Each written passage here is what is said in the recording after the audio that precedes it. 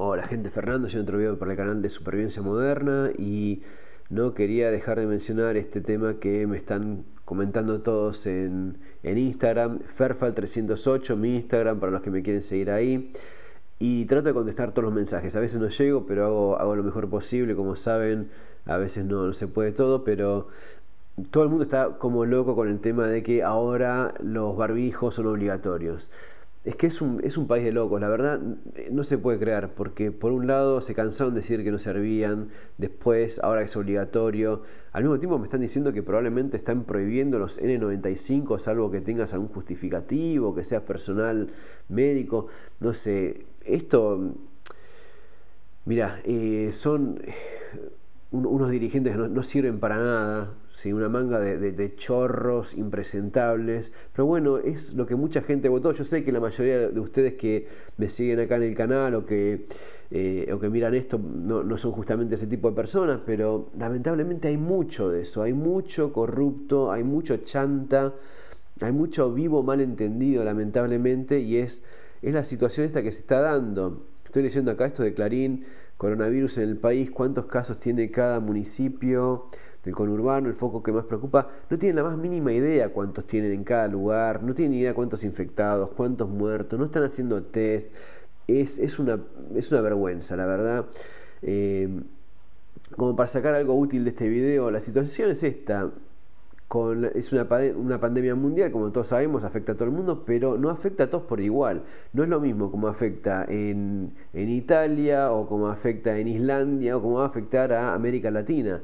Cualquiera con un poco de criterio se da cuenta que los países más vulnerables, con menos desarrollo, que tienen peor infraestructura, peor servicios médicos, son mucho más eh, vulnerables a, picos muy altos y que se les vaya la situación de control. Y es lo que va a terminar pasando.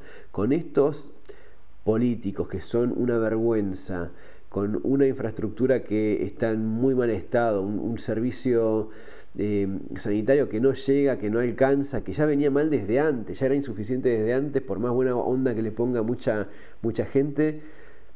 Y cuando vos hablas de un país en el que tenés 40% de la población que no tiene agua corriente, que no tiene cloacas, ¿de qué me estás hablando? No lo podés llevar adelante esto. Esto de que ahora ponen obligatorio lo que antes decían que no funcionaba es es ridículo, ¿no? Pero bueno, es la misma historia de siempre.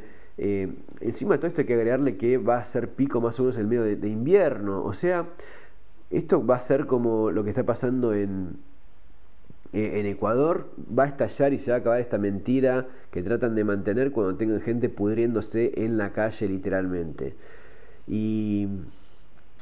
No sé, y encima de esta gente de Kisilov riéndose de la gente yo no entiendo la cabeza de quién este tipo llegó a gobernador. En vez de Vidal eligieron a, esta, este mamarracho. Pongan cara de coronavirus. El chiste de Kisilov que generó repudio en la red. Y bueno, ahí está. Ahí lo, votaron. Ahí lo tienen. Es qué sé yo.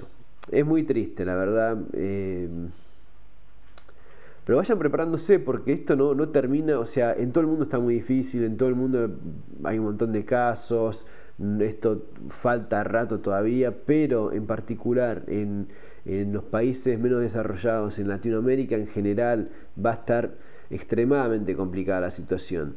Virus harán testeos rápidos para medir la circulación y detectar asintomáticos. ¿Cuántos van a ser? ¿2.000? ¿3.000? ¿Cuánto?